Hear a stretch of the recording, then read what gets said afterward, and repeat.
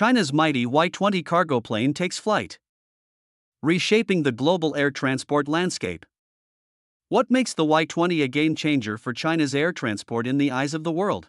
Hey, did you know that in the skies, there's a Kunpeng from the east, and every flap of its wings draws global attention? This Kunpeng is China's Y 20 large transport aircraft. You might have caught a glimpse of its massive yet agile form in the news, but do you really know the story behind it? How did it go from a mere concept to a steel behemoth soaring through the heavens? And why has it managed to carve out its own niche in the fiercely competitive global transport aircraft arena, even reshaping the global air transport landscape? Today, let's uncover the untold story of the Y 20. The birth of the Y 20 is a monumental achievement resulting from the nation's strategic foresight and meticulous planning, embodying a strong national will. In 2006, facing a complex international situation and the pressing needs of national development, the country swiftly organized the major science and technology special project demonstration for large aircraft. A gathering of top industry experts, after multiple rounds of rigorous discussions and analyses, unanimously agreed that large aircraft play a crucial role in enhancing the nation's overall strength and are a strategic priority for boosting China's independent innovation capabilities. This conclusion shone like a beacon in the fog, pointing the way forward for the future development of China's aviation industry. In 2007, the State Council's executive meeting officially approved the establishment of the Major Science and Technology Special Project for Large Aircraft Development. This decision was like a boulder thrown into a calm lake, creating massive ripples in the aviation sector and declaring China's firm determination to take on the challenge of developing large aircraft. Subsequently, the military equipment authorities quickly convened a mobilization and deployment meeting for the development of large transport aircraft together with the Commission for Science, Technology, and Industry for National Defense, clearly designating the first Aircraft Institute, FAI, to be responsible for the design and Xi'an Aircraft Industry Corporation, XAC, to undertake the main manufacturing tasks. This series of rapid and well coordinated actions was like a meticulously choreographed play, from project demonstration to approval, and then to the determination of design and manufacturing units. Each step was closely linked and crucial, all working towards a single goal to facilitate the smooth birth of the Y 20 and usher in a new chapter in China's aviation endeavors. From design to manufacturing, every aspect of the Y 20 was fraught with challenges. The wing design adopted a supercritical airfoil, which was no easy feat. The design team had to complete the plan on time and ensure its aerodynamic performance met the design requirements.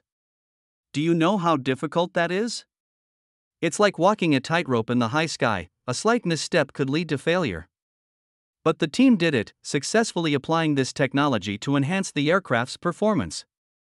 During the structural drawing phase, FAI completed the issuance of a large number of drawings, the establishment of digital models, and numerous tests. Every piece of data and every drawing embodied the painstaking efforts of countless researchers. The design of the Flight Management System, FMS, posed a significant challenge. FAI and related institutes formed a joint task force and spent three years overcoming technical hurdles. The full time, full authority fly by wire FBW, flight control system technology was even more critical. FAI, along with the Aviation Industry Corporation's Auto Control Institute and other units, repeatedly conducted research and experiments, ultimately successfully developing the FBW system. These achievements were not obtained casually, they were the result of countless days and nights of hard work and dedication. In the manufacturing phase, the Y 20 also faced numerous difficulties.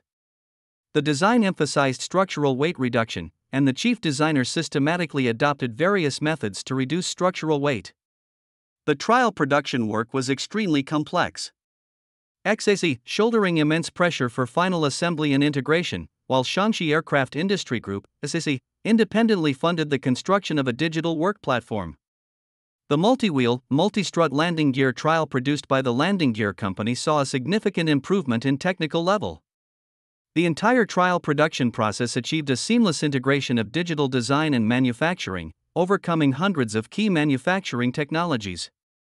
In September 2010, the Aeronautical Manufacturing Technology Institute, AMTI, solved the manufacturing challenge of the aircraft's main flaptrack in just three months. XAC, in collaboration with universities, achieved a one time successful large cruciform docking of the Y 20, propelling the assembly of large aircraft towards automation, digitalization, and flexible assembly. These breakthroughs laid a solid foundation for the birth of the Y 20.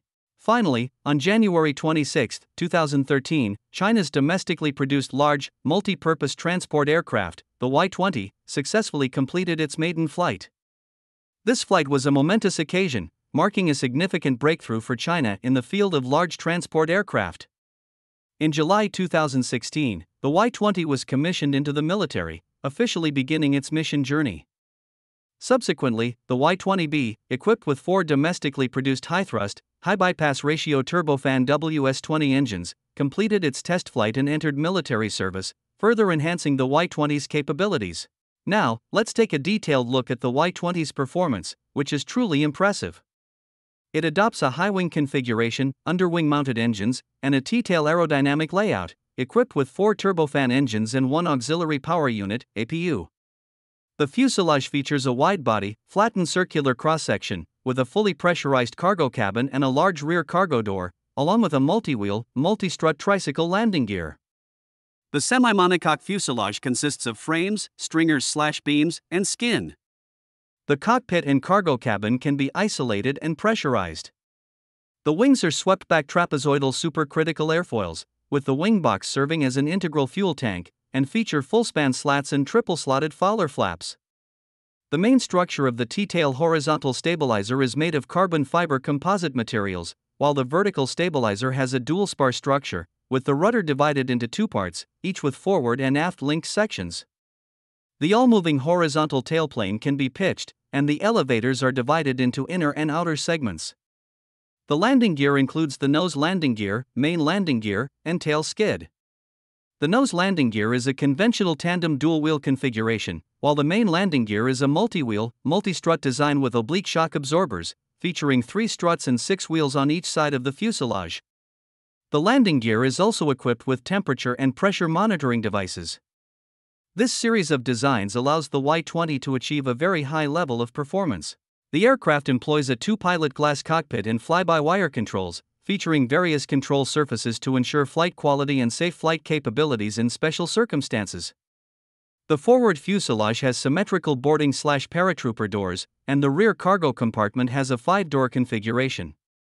The cargo compartment is equipped with loading slash unloading and airdrop systems.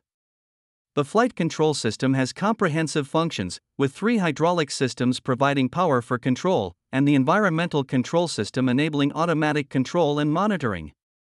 The integrated avionics system is centered around two integrated processors and utilizes an AFDX network as its main bus. The cockpit uses integrated display and control technology, employing specific equipment for human machine interaction. This makes the Y 20's operation more convenient and efficient, while also enhancing flight safety. The Y 20 possesses cargo and personnel transport, airdrop, and mission management capabilities. Its design is general purpose and modular, allowing for rapid configuration changes to meet diverse transportation needs and enabling various airdrop and paratrooper deployment methods. The mission management system can perform multiple mission related operations. The aircraft utilizes distributed technology to achieve multi system control and information management, featuring fault detection and status monitoring functions. In terms of performance data, the crew consists of three members. The aircraft has a length of 47 meters, a wingspan of 50 meters, a height of 15 meters, and a wing area of 330 square meters. Its maximum takeoff weight is 179,000 kilograms, maximum fuel capacity is 77,500 kilograms, and maximum payload is 55,000 kilograms, based on data with D30 KP2 engines. Engine options include the D30 KP2, single engine maximum thrust of 103 knots, or the WS20, among others. Its maximum speed ranges from 750 to 920 km per hour. Its service ceiling is 13,000 meters. Its range is greater than 7,800 km. Its full payload range is 4,400 km, and its takeoff and landing runway distance is 800 meters. Such performance places it in a significant position among global large transport aircraft. Compared to transport aircraft from Europe and the United States, the Y 20 also has its own advantages and characteristics. Take the American C 17 Globemaster III, for example.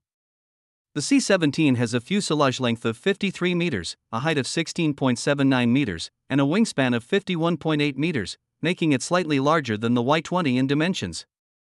The C-17's internal cargo compartment has a length of 26.83 meters, a width of 5.49 meters, and a minimum height of 3.76 meters.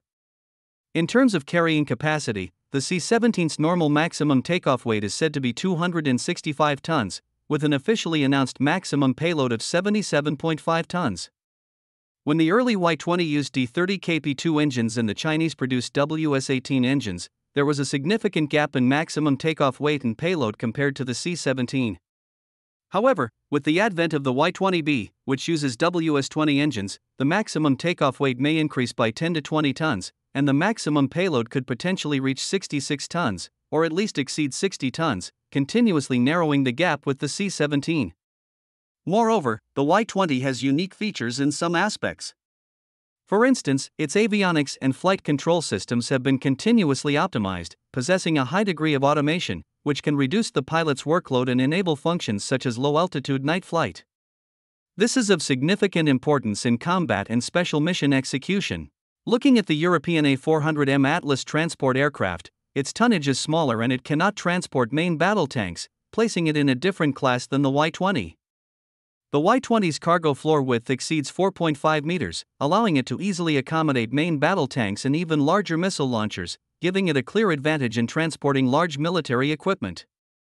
Furthermore, the Y-20 has a long range, a maximum takeoff weight of 220 tons, and a conservatively estimated fuel capacity of over 60 tons. Utilizing a supercritical airfoil and drag reduction design, its excellent aerodynamic shape enables it to fly nearly 10,000 kilometers. This range advantage is of significant value in global power projection.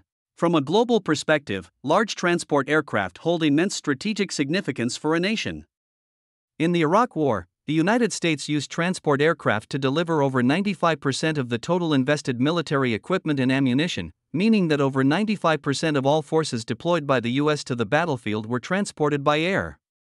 Compared to other methods, transport aircraft offer greater speed, accuracy, efficiency, and safety.